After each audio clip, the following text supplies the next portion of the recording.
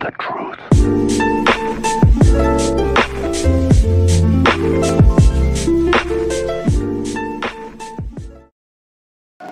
After ominous messages and outright threats from the volatile North Korean leader about pulling out of a summit with President Trump, the president late today offered a possible carrot to Kim Jong un. He'll get protections that will be very strong. Analysts say this could be the kind of security that the North Korean leader values most.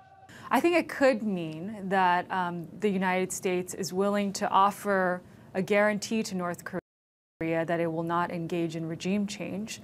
In recent days, the North Koreans said if they were forced into a corner to unilaterally abandon their nuclear weapons, then they wouldn't be interested in a dialogue with Trump. But tonight, the president's aides tell CNN they believe Kim is posturing and they don't think the summit is in jeopardy. If this is bluster, a key question in Washington tonight is why? What is Kim hoping to extract ahead of a summit?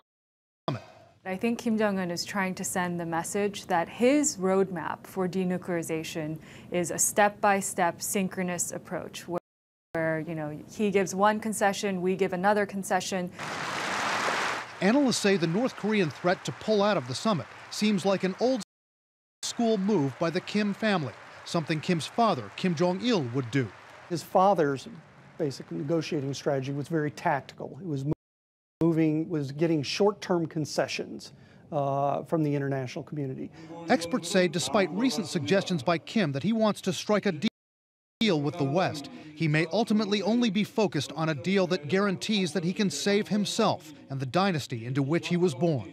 Kim has two basic bottom lines in uh, two objectives that overrule every other objective that he has.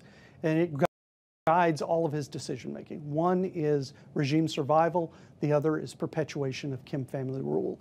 And whatever outcome of this uh, summit with the United States would have to guarantee that both of those objectives are protected. If those objectives aren't protected, some suggest Kim Jong un could back out of his scheduled face to face with Trump, although it could now prove to be more difficult.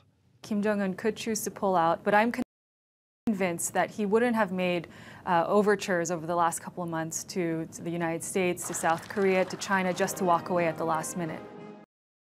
Got one, two, three, four, five, six, seven, eight M's in my bank.